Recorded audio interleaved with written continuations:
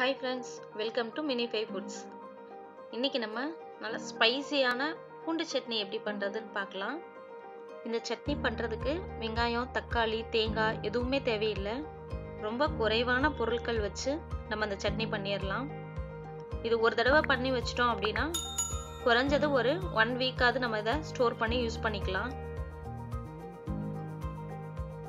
வீடியோவை ஸ்கிப் பண்ணாமல் ஃபுல்லாக பாருங்கள் வீடியோ உங்களுக்கு யூஸ்ஃபுல்லாக இருந்துச்சு அப்படின்னா சப்ஸ்கிரைப் பண்ணிவிட்டு பெல் பட்டனையும் ப்ரெஸ் பண்ணிக்கோங்க. வாங்க இப்போ நல்ல காரசாரமான பூண்டு சட்னி எப்படி பண்ணுறதுன்னு பார்க்கலாம். இன்றைக்கி நான் அரை கப் அளவுக்கு பூண்டு உரிச்சு எடுத்து வச்சுருக்கேன். கிட்டத்தட்ட ஒரு நாலு அஞ்சு கண் கட்டி பூண்டை உரிச்சு எடுத்து வச்சுருக்கேன். இது கூட ஒரு பத்து காஞ்ச மிளகா சின்ன நெல்லிக்காய் சைஸ் அளவுக்கு புளி. இப்போ நம்ம இது எல்லாத்தையும் ஒரு மிக்சி ஜாரில் போட்டுடலாம்.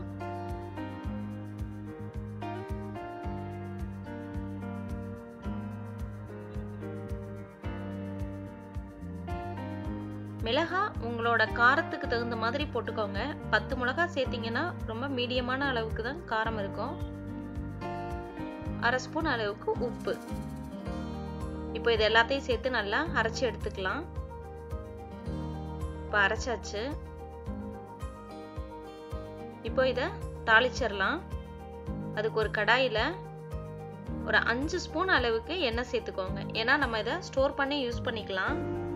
அதனால் எண்ணெய் கொஞ்சம் தாராளமாக விட்டுக்கோங்க. நல்லெண்ணெய் சேர்த்து பண்ணிங்கன்னா இன்னும் டேஸ்ட்டாக இருக்கும். எண்ணெய் நல்லா சூடானதுக்கப்புறம் கடுகு சேர்த்துக்கோங்க.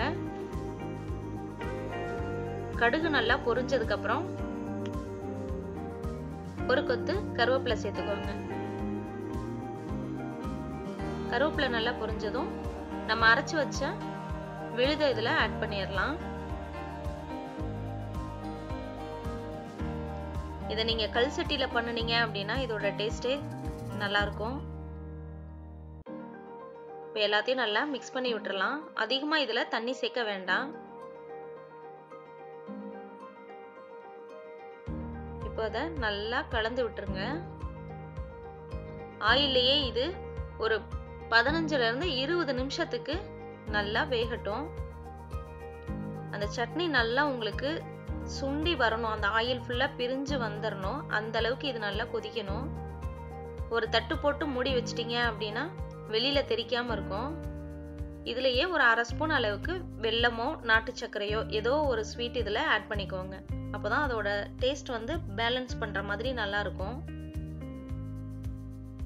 காரம் புளிப்பு லைட்டாக ஒரு இனிப்பு இதெல்லாம் சேர்ந்து அந்த சட்னி நம்மளுக்கு தனி டேஸ்ட்டு கொடுக்கும்.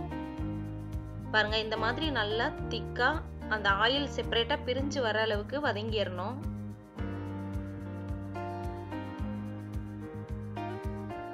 இந்த சட்னி ரொம்ப டேஸ்டா இருக்கும். இட்லி தோசை சப்பாத்தி கூட நீங்க இதை யூஸ் பண்ணிக்கலாம். ரொம்ப ஈஸியான டேஸ்டான காரமான பூண்டு சட்னி ரெடி ஆயிடுச்சு. கண்டிப்பா நீங்க இதை வீட்டில் ட்ரை பண்ணி பாருங்க. தேங்க்ஸ் ஃபார் வாட்சிங்